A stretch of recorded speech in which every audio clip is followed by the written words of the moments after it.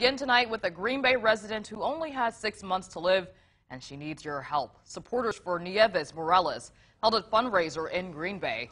In March, a biopsy revealed Nieves has leukemia and needs a bone marrow transplant. The cost for the operation is $150,000. So far, Nieves has only raised about $12,000, so they are far short of their goals. The mother of two still works full time, but desperately needs help.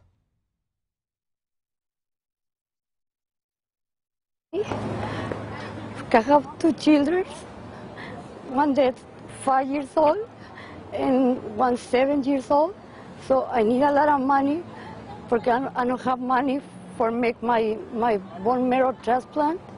She needs a, bar- bone marrow transplant ASAP.